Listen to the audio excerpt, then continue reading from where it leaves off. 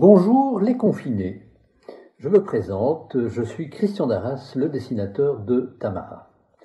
Et je vais donc vous faire une petite masterclass pour vous expliquer comment dessiner ben, Tamara.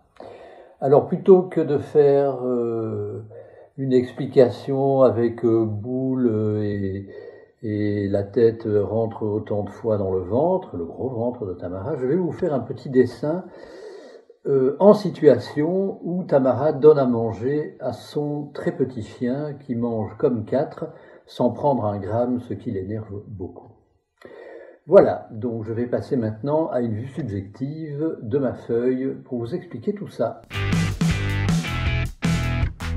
Donc, on commence toujours par, excusez-moi, euh, positionner le dessin dans l'espace pour qu'il ne sorte pas du cadre et que tout soit bien euh, mis à la bonne place.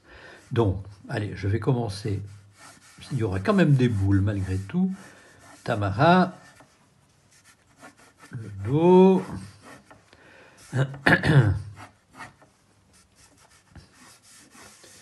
Donc, on positionne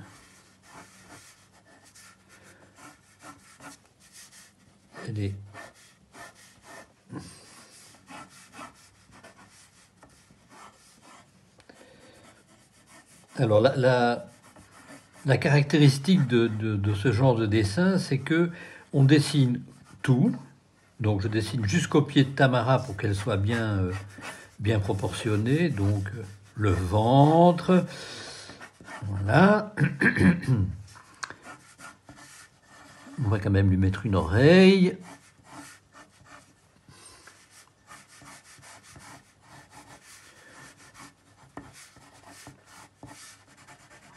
La couette, très caractéristique de notre Tamara. Elle n'est pas contente, donc on fait des sourcils comme ceci. Alors, qu'est-ce qu'elle regarde?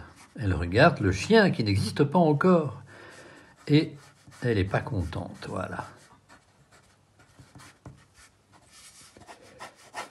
Donc elle montre ce vilain chien.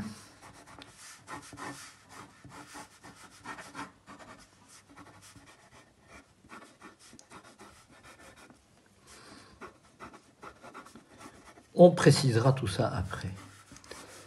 Et de la main, c'est sa main droite, oui, elle tient une boîte de on ne sait pas très bien euh, quelle est la marque de cette nourriture d'animal. La fourchette, l'étiquette. Alors, voilà donc Tamara campée. Bien vu? Ok.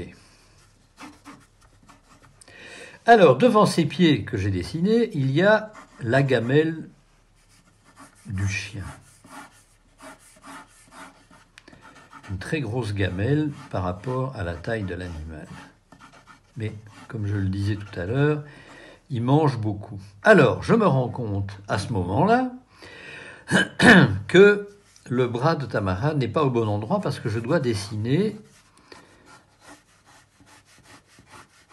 l'énorme quantité de bouffe Donc, si je dessinais sur mon truc habituel, c'est-à-dire une, tablette, ce serait plus facile. Je fais hop hop hop et puis je l'enlève. Mais bon, là, comme j'ai décidé de vous le faire pour de vrai avec un papier et un crayon, voilà, donc maintenant, on verra, on enlèvera tout ce qui dépasse et tout ce qui n'est pas bien. Bon, évidemment, comme il mange beaucoup, il y a des boîtes vides sur le sol.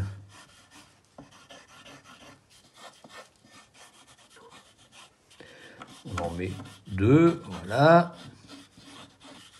Des grosses boîtes. Hein.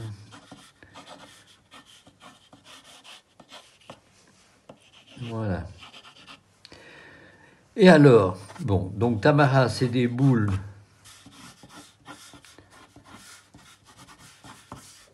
Voilà. Et le chien, lui,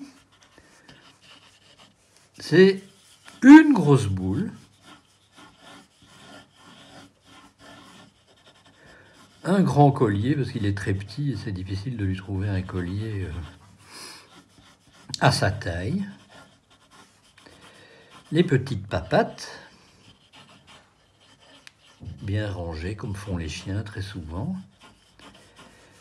Les papates arrière. Et la queue frétillante et énervée à l'idée de se ruer sur cette délicieuse nourriture. Alors il a des grandes oreilles. Vous vous rendez compte, je suis parvenu à ne pas sortir du cadre, je suis très fier.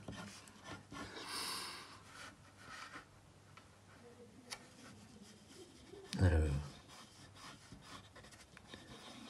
un nez, des petits yeux, et alors il regarde ce délice qui l'attend. Il bave évidemment, ça, les chiens bavent très souvent. Voilà, donc le positionnement, et alors après il y aura une petite bulle. Bon, alors on, précise un petit peu, j'espère que je ne bouge pas trop. La gamelle donc, le chien,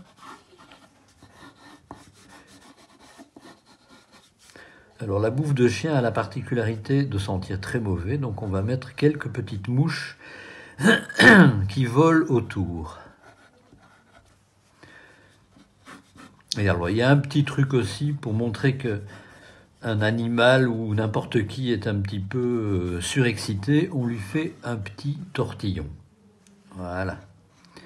On va mettre un peu les narines du chien. Et donc... Et voilà, je vous retrouve après le petit dessin que je viens de faire. Et ben, j'espère que vous allez bien vous amuser. Je vous dis au revoir. Et surtout, n'oubliez pas de rester chez vous. Bis à tous